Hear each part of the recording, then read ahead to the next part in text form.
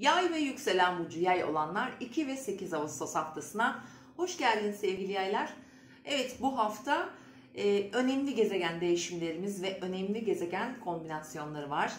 Özellikle Güneş Uranüs karesi, e, Merkür Uranüs karesi ve tabii ki de en güzeli de Venüs'ün Uranüs'te olan üçgen açısı var. Yani Uranüsyen bir hafta koşulların, gündemin hatta çok hızlı değişebileceği bir süreçten geçiyoruz. Yine bu hafta sonuna kadar da bu devam edecek. Ee, Aslan Burcu'nda bir yeni ay doğacak. Bu sizin 9. evinizde. Lütfen yeni ay videosunda size özel anlattığım yorumu izleyin. Çok önemli bir e, başlangıç olacaktır sizin için.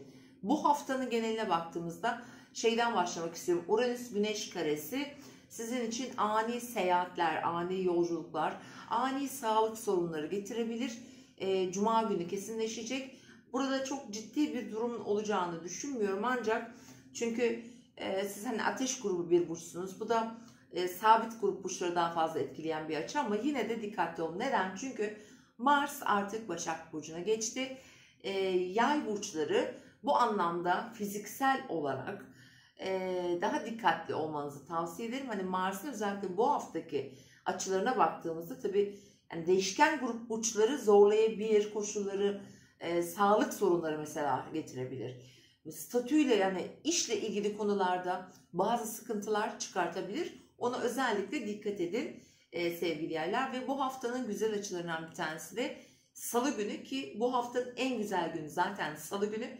Gökyüzünde gerçekten çok güzel e, açılar var. Önemli işler için kullanılmasını tavsiye ediyorum. Ve bugün salı günü yani Uranüs'ün e, Venüs'te olan o üçgen şans getiren açısı gerçekleşecek ve sizin kariyer evinizde Venüs Mars'la birlikte Başak Burcu'nda ilerliyor. Demek ki güzel haberler, sürpriz haberler, e, yeni gelişmeler, hayatınızda bazı böyle size heyecan verecek yenilikler katan e, haberler alabilirsiniz. E, iş hayatınızla, sağlığınızla ilgili güzel gelişmeler olabilir. Belki de iş haberleri, yeni bir iş teklifi de gelme olasılığı var sevgili yaylar. Onun dışında bu haftanın yine önemli bir açısı da e, o da çarşamba günü kesinleşecek. Evet Uranüs ve Merkür'ün karesi var. Yine bu hafta için oldukça o da önemli bir e, yapı. Şimdi Merkür Aslan Burcu'nda, Uranüs e, tabii ki Boğa Burcu'nda. Sizin e, ani dedim ya yeni ayda orada doğacağı için 9. ev konularınızı çok güçlendirecek sürpriz bir seyahat iptali, orada bir tıkanma, bir sıkıntı e, olabilir. E, yurt dışı ile ilgili bağlantılar, e, çözemediğiniz bazı ticari konular, hukuki konular varsa oralarda bazı e, çözmeniz, acil böyle müdahale gerektiren durumlar olabilir. Zihni çok aktif kullanacağımız bir süreç ama mutlaka bir çözüm bulabileceğinizi düşünüyorum. E, çünkü sonuç olarak Merkür size uyumlu açı yapıyor. Ateş grubu bir burçta sevgili yaylar. Genel olarak haftanın ortasına kadar ikizler burcunda. Haftanın ilk 3 günü tabii ki e, biraz daha ev yerleş Haftanın ilk 3 günü ilişkileriniz, evliliğiniz, ortaklığınız, ilişkiler biraz daha mercek altında e, olacaktır. İlişki dinamikleri e, gündeminizi daha fazla meşgul edebilir. Haftanın ortasına itibaren Ay Yengeç Burcu'na geçecek. E, cumartesi sabahına kadar sizin 8. ev konularınızı çalıştıracak.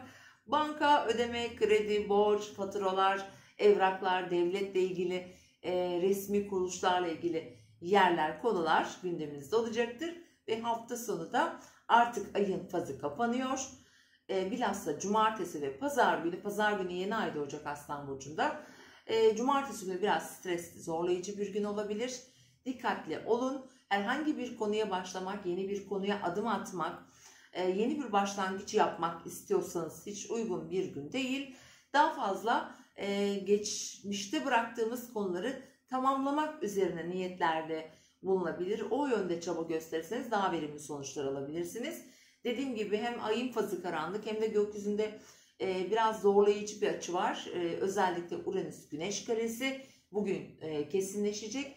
Beklenmedik böyle ani tepkisel durumlar gelişebilir e, ilişkilerinizde, sosyal çevrenizde olabilir.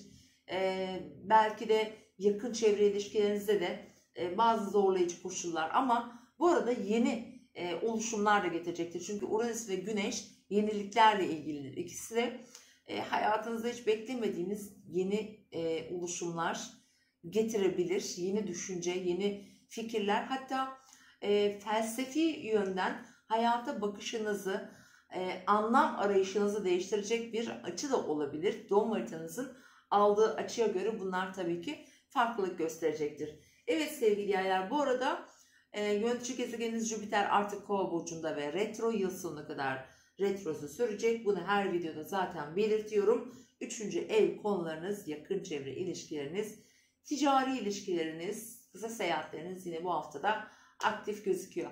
Evet güzel bir hafta geçirmenizi diliyorum. İzlediğiniz için teşekkürler.